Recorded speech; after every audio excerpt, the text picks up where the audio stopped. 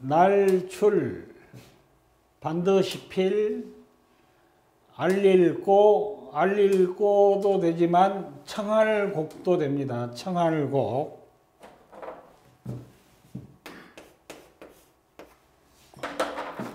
갈지 돌아올 반 반드시 필 절배 아렐 알레 알 아렐 아렐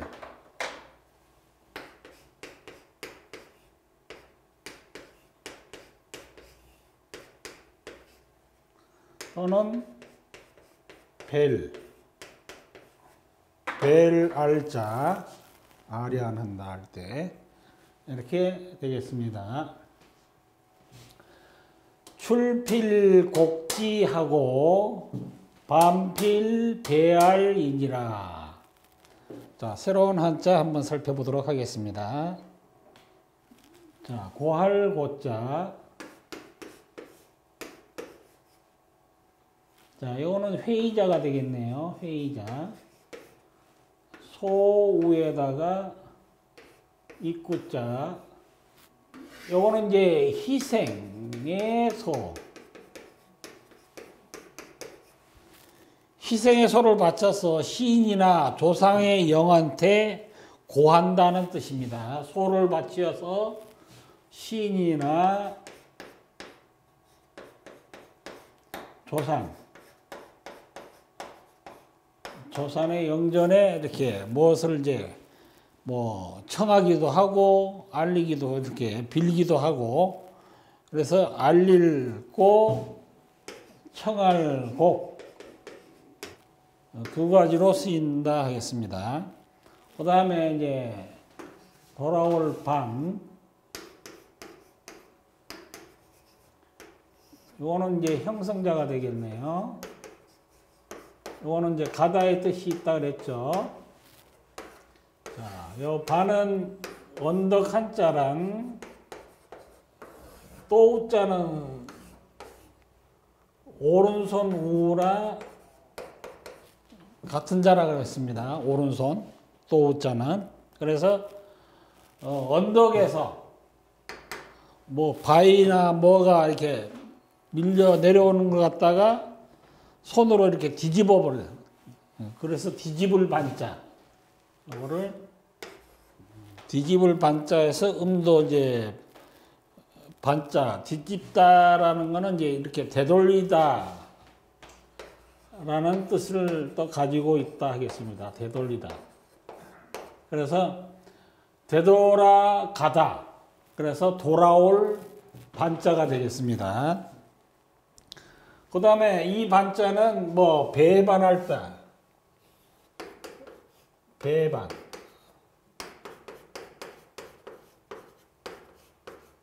배신 때린다 할 때 배반. 배반한다라는 뜻도 있고 그 다음에 이제 반대. 반대한다는 뜻도 가지고 있습니다. 다음에 절배자는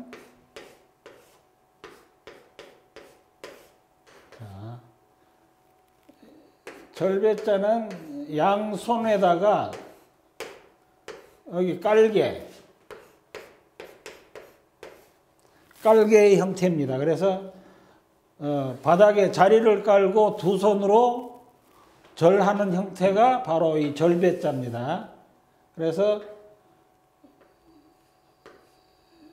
이자도 손수자고 요자도 손수자에다가 이렇게 깔개가 깔개가 어, 덧붙여진 자입니다. 그래서 두 손과 깔개가 있어가지고 바닥에 자리를 깔고 두 손으로 절하는 거. 그래서 절배자가 되는 겁니다. 그 다음에 아렐 알자.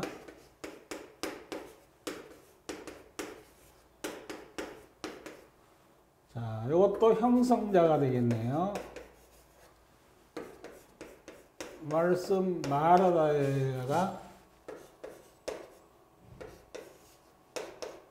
이건 앞에서 배웠죠. 어찌 갈자라고. 어찌 하다고 말하겠는가 이런 이런 뜻입니다. 말로도 하고 얼굴로도 보인다는 뜻입니다. 그래서 우리가 그뭐 사극 같은 데 보면은 임금님을 뭐 아련한다는 말 있죠. 알현. 알현.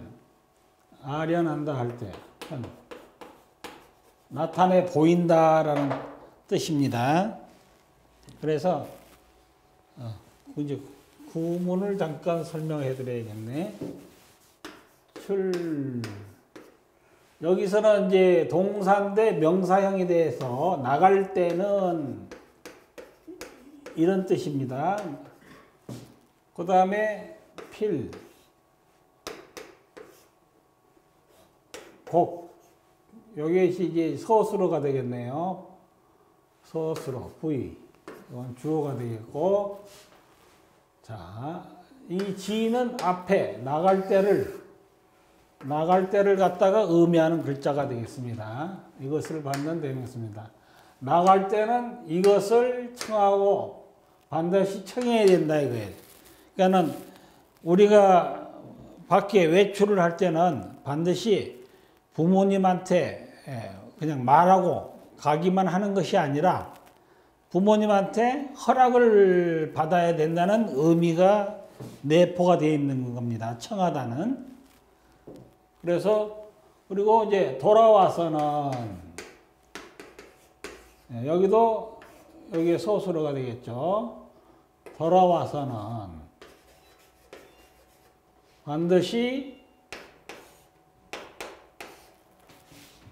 절을 한다.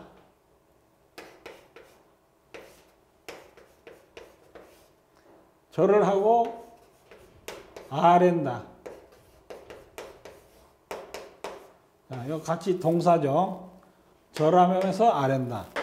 그러니까는 말로서 다녀왔습니다 하고 반드시 온전한 상태로 돌아왔다는 것을 부모님에게 보여드려야 한다는 그런 의미입니다.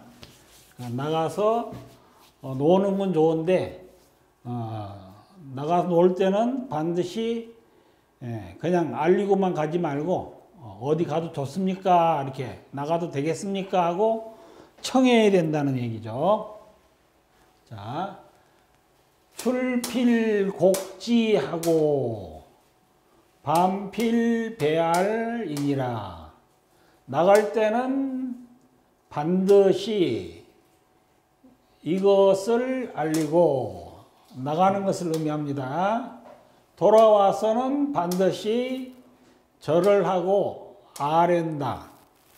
날출, 안일불, 박불역, 모방, 놀유, 반드시 필, 있을유, 모방, 출불역방하고 유필유방이니라. 자, 새로운 한자 한번 살펴보도록 하겠습니다. 자, 날출 안일부를 다 했고, 바꿀력. 야, 이거는 상명자가 되겠네요. 자, 이거는 두 가지 쓸이 있는데, 하나는 어, 도마뱀을 상영한다는 설과 둘째는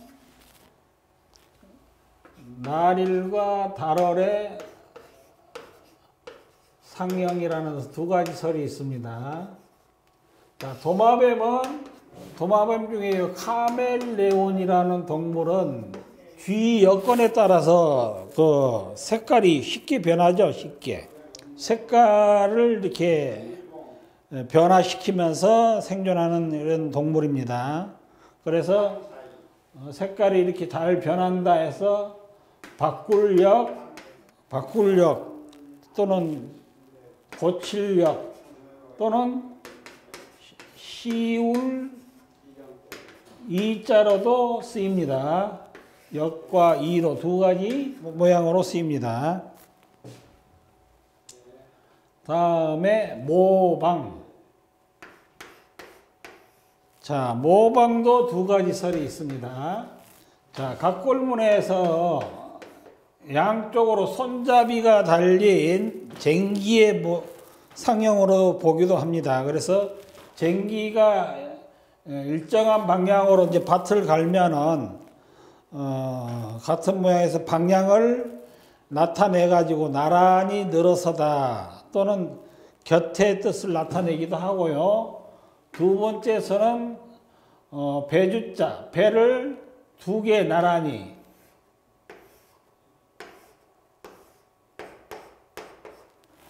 해서 이렇게 모가 난 모양이 만들어졌다. 또는 어, 두 배를 나란히 묶거나 네모진 모양을 만들어서 어, 뱃머리가 향하는 쪽이 방향을 목적지를 나타내는 어, 방향으로 저기 나타내기 때문에 방향의 뜻도 의미합니다.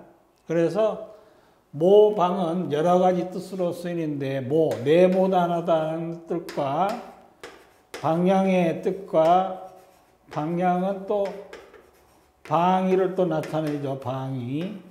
그 다음에 뭐 방법의 방법 뭐 이제 이제라는 뜻도 있습니다. 이제 바야흐로 이런 등등의 뜻으로 쓰이고 있다 하겠습니다.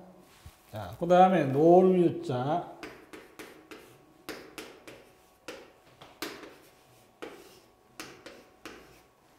이 자는 형성자가 되겠습니다.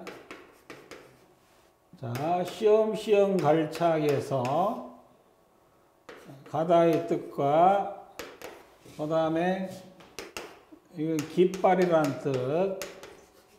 자, 요 자는 요자의 생략형입니다. 생략형. 흐르다. 깃발이 나붓기다라는 뜻입니다. 깃발이 나붓기다. 바람의 나붓기는 깃발의 뜻을 갖고 있습니다. 그래서 우리들이 옛날에 어린아이들이 깃발, 깃대에 이렇게 에, 길을 꽂고 이렇게 뭐 이렇게 노는 그런 장면이 되겠네요. 그래서 여자는 여자하고도 서로 통합니다. 놀유자, 헤엄칠 유자. 놀다 헤엄치다. 이렇게 바꿔 쓰기도 합니다. 이제 놀유자는 한마디로 깃발을 가지고 이제 노는 그런 형태를 말합니다. 그 다음에 있을 유자는 요거 이제 형성자가 되겠네. 이것도. 그래서 이거는 손에다가 육달어는 고기육. 고기를 가지고 있다. 손에. 예, 손에 고기를 가지고 있다 해서 이제 있다의 뜻이 나옵니다. 손에 고기를 가지고 있다. 자, 해석, 본문 해석을 한번 해보도록 하겠습니다.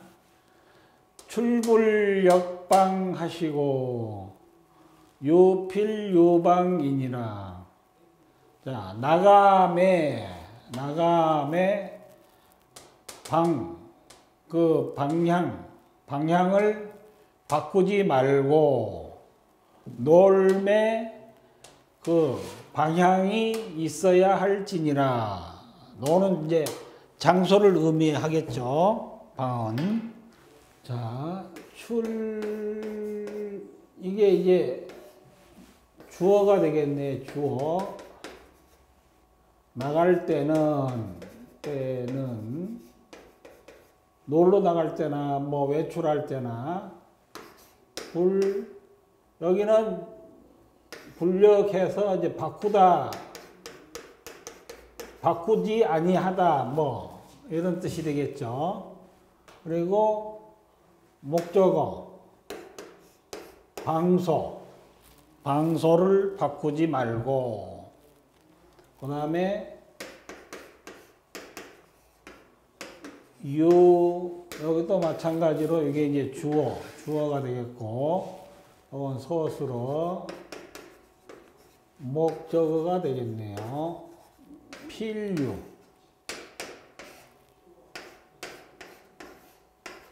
반드시 있다. 뭐가? 방소가. 이렇게 문법이 되겠습니다.